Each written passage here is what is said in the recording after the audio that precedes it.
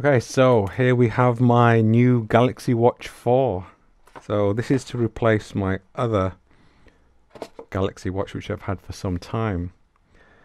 Now I went for the classic. This is the 40 millimeter one, I believe. So it's probably going to need charging. First impressions, there's not much in the box. Is that everything? Alright, let's have a look. Where's all the bits and bats? So this is going to be the charger. Ah. ah. that's a bit of a shame. Now the original charger that I had with my other Galaxy Watch, you could just plug in anything, but this has to go like this. So I'm guessing it's magnetic. Let's see if there's any charge in the watch, but I'll have to set it up. I'll go into it more once I've worn it for some time, but first impressions so far, I do like it. I'm not sure about the white strap though. I think I'll definitely have to change that, but I could change it. It's a nice, actually, it's a really nice soft. So I need to set it up to English, continue, restart. Okay, so I'm going to set this up, link it to my phone now the strap the other time I bought they gave you two straps. One was a longer strap and one was a shorter strap. This is cheaping out a bit. Uh, they've only given one strap but I do like the actual watch itself. I um yeah that's nice. So let's get this set up. Now connecting this to my phone was a real problem. It actually failed three times while it was trying to connect. I don't know what the problem was but it just wouldn't connect. Um, it, it, started to connect, but then it kept dropping. I had to start all over again, and then finally on the fourth uh, time it connected. Uh, but I, I think one of the reasons is is I'm not using a Samsung phone. This watch really is designed for a Samsung phone, which I think is a real shame because uh, if you don't have a Samsung phone, you can't use all of the features that that come with it uh, which I'll go into later. Now, this is to replace my Galaxy Frontier, which I've had for four years now. Uh, and I've really enjoyed wearing this watch. It's very, very helpful. Um, I mainly use it for when I'm traveling, but uh, I tend to wear this a lot more, even when uh, as an everyday watch. It's just an, an ideal watch. It's waterproof. It, it's very tough. Uh, but um, being four years old now, the um, built-in, I think, redundancy is starting to kick in the battery now will uh, last me not really to the end of the day. Um, usually by mid-afternoon, the battery is about to die. If you look at the battery at the moment, it says 84%, and that is now what just over 30 minutes since I took it off the charger. So the battery's fading. The GPS is not uh, working as well. Um, it's constantly dropping from my phone. So it was time for uh, an upgrade. Now, normally when I uh, buy a new watch or a new computer or camera and so on, I tend to try and miss a generation because I feel it, it gives it more time to um, they have more upgrades. So this is the fourth generation, so I've sort of missed the third one. And uh, there are some major upgrades. Uh, one of the biggest upgrades really for this watch is the fact that it uses um, Google's OS system instead of the the Tizen um, from uh, from uh, Samsung. Now, with the Google OS, you can use the App Store, uh, the Google App Store, which sounds great. You'd, you'd sort of think, that's fantastic. I can then start using all of the apps that are on my phone. I can use them on my watch. Unfortunately, you can't. Well, not yet anyway. You're very limited to the amount of apps which are available for your watch. They're, they're making a big deal about the fact you can use Spotify on your watch that's for me. It's not such a big deal. Um, it's the ver- I think with the watch being so new, there's not that many applications out there, not many apps, and there's not many people have started making apps for this watch yet. But I think give it between six months and a year, there'll be a lot more apps available that you can download uh, onto the the watch, and it, it just make it, it would make it a lot better. Uh, there's nothing that extra that this watch can do that I couldn't do with my Frontier. Uh, this has got Google Maps, which is great. The this one didn't have Google Maps. I had to use um, Here Maps on this one, but Here Maps was just as good. Um, I didn't. You had to download an extra app on your phone for that, but this one you don't have to. Uh, this one it's simply straight on your watch. You can use you can use it for um, location. You can use it for your GPS wherever you, you want to travel to, which I found really helpful, especially when I'm traveling. In terms of faces uh, or dials, there's a there's a lot already pre-built in this.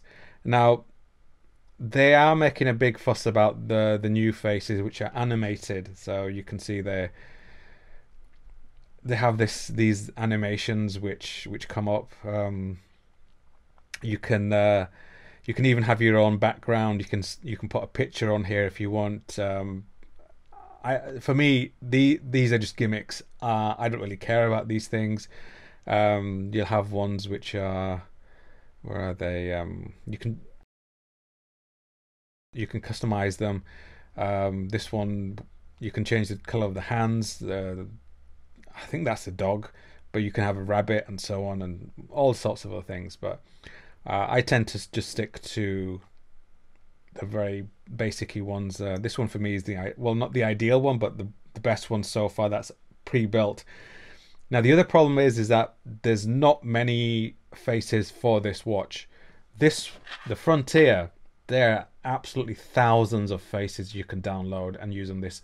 Uh, this is the one I use for this one all the time, which I found an ideal, almost ideal one. So it's got uh, what I need to see. Um, this one is is pretty good. It's got everything I need. I've got uh, a quick for the uh, for the stopwatch.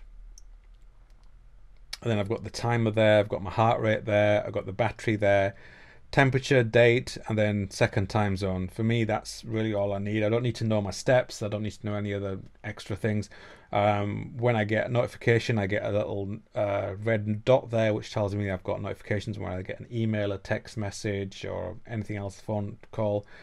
Um, so that's that's ideal the rest of the apps which are pre-built on this, you've got your your training um, apps. So you've got your walking, running, cycling, which is straight there. But then you can go into it and go into your other workouts. So you can do running coach, swimming outdoors, hiking, machine weights, exercise bike. Now, I've never used these. Even on my Frontier, I've got these. It's basically the same thing as that. So let's say you're going to use your walking, and away you go. So it will give you your your duration, your distance, how many steps you've done, your heart rate, and then if you scroll to the next one, you've got your calories, your average speed, uh, your speed uh, that you're traveling at, at that time. Then again, your heart rate at the bottom, and then this is your if you just want to have your heart rate. So if you want to keep it in a certain uh, heart rate zone, um, it's it's good if you if you want to use it for for your training. It gives you a basic um, uh, outlook on on your training, but it's not something that that really I care about. Um, in terms of fit and finish, it's a big improvement in fit and finish. This one is very plasticky. The strap on this is really nice. Now, normally I would change the strap, uh, but it's a really nice, comfortable strap. So I've decided to keep it on this. A it's a shame they didn't come with the option of black. I'm sure you can buy the black one, but they'll probably charge you something ridiculous. So the other apps which are in the watch now, this one here sets your or checks your body fat uh, index. Now, with this one, it really is a bit of hit and miss. Uh, I've I've used this when it when I first got it. I checked everything out, so uh, to wanted to make sure that everything was working properly. So what you got to do is you got to put your two fingers there, and it should start checking your body fat index. Now, this it's not very accurate uh, when I'm checking first time, it said I was 16%. And the other problem is it keeps doing this. It keeps stopping. And so you've got to either wet your fingers to make sure you uh, you got enough moisture there. So the first time I checked it, it said I was 16%. Then I checked it again, it said I was 18%. See, there you go. I haven't really moved my hand, but it's still saying that it can't read it this is the reason why I wouldn't use this all the time because it's just so much of a faff. Uh, and then it said I was 13%, and then it said um, at the moment it says I am. See, there you go. See, it says um, I'm 18 18.6%. Um, and if you saw earlier when um, I had the watch just before I started it, it's I think it said it was twenty point two percent or something. So now it says I'm eighteen point six percent. Now I know this can vary between the time of day you use it, but when I first did it, I was doing it within minutes of each other. Uh, so it's not very accurate. Uh, but if you just use it as a guide, it's, it's, it's fine. But I would say get a proper scale, uh, which will check your body fat index properly. So this one, it tells you your body water, um, your BMI, body fat, body mass, uh, fat mass, skeleton muscle. Obviously, your weight you just put in manually yourself. Um, so the two buttons on the on the side. So if you the top one is to go back to the the main, so that will take you back here. I find this a real gimmicky thing. I don't understand why you want to check your sleep patterns because you wake up in the morning if you feel terrible. That usually means you've had a bad night's sleep. You don't need your watch to tell you you've had a bad night's sleep. And if you feel fine in the morning, again, you know, you don't need your watch to tell you. So, a very gimmicky thing. You can look at where it says you've had a deep sleep or you're in your REM or if you've light or when you've woken up. Now, this is the blood pressure. Now, blood pressure and ECG, I can't use because I don't have a Samsung phone. These you need to download uh, an app, and they're not available at the Google Store, which I find very strange considering they're making a big fuss that this is using the Google um, OS now. So why why is it not available there? Uh, you have to actually go to the Samsung store to download this app, but for my phone I can't download it. Now I can download it if I use third-party apps to to, to go around, and I, I don't really want to do that. I don't really care. The blood I don't the blood pressure for me, I would expect it not to be as accurate, just like the, the body mass fat index. So I don't really care. I don't need to check my blood pressure. I don't have high blood pressure. I don't have low blood pressure. But if you need something to check, I think most people, my family member, um, they have high blood pressure. They have a proper machine to check their blood pressure. I wouldn't rely on this. Um, so it's not really something I would rely on too heavily. Uh, this is your heart rate. So you can check your heart rate simply by just pressing that. Stay still uh, again, how accurate these are, they're not as accurate as a proper heart rate monitor on your chest when you're training. Again, I find these very gimmicky. I don't, I don't really feel the need to check my heart rate when I'm sat doing nothing. This is a stress level. You can check your stress now. I'm currently, I've always been in the green, so clearly I'm not very stressed. Um, so it's constantly preparing, but there we go. It's starting now. I was going to stop it, but I'll let it run through. How it checks your stress level, I have no idea. I think it's just guessing more than anything else. You can you can be stressed and have a whole, whole low heart rate, but you could be stressed about other things. So couldn't stress. You see, I'm you see, yeah. Now this one is the LT version. Uh, I got the LT version, so I wouldn't need to use it with my phone. Unfortunately, my network doesn't support LT. So it's a bit pointless. Uh, I may have just got the Bluetooth version, which because I'm just using it as a Bluetooth standalone. So I was hoping I could just leave my phone at home where I don't need to, and I can make phone calls and so on. Phone call wise, it's a very tinny sound on this. It's very bad. The Frontier was much better. It's not very good. I, I don't like making phone calls on this. The watch is the 42mm version. Now, I think it comes in the 44mm as well. Now compare that to the Frontier which is I believe this one is 46 millimeters. I was a bit hesitant about getting the 42 mil because I thought possibly that's going to be a bit too small, but uh, it's fine. I'm glad I got the 42. It worked out well for me. It fits my wrist a lot better. If you want to make a phone call, you simply swipe up and then you've got your icon there to make a phone call. So very simple to use.